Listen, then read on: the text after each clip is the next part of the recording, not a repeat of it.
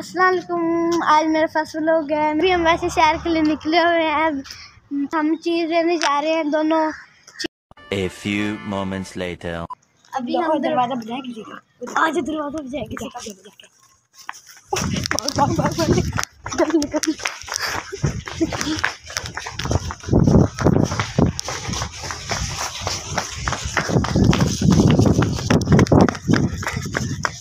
के हम चीज़ खा के घर जा रहे हैं।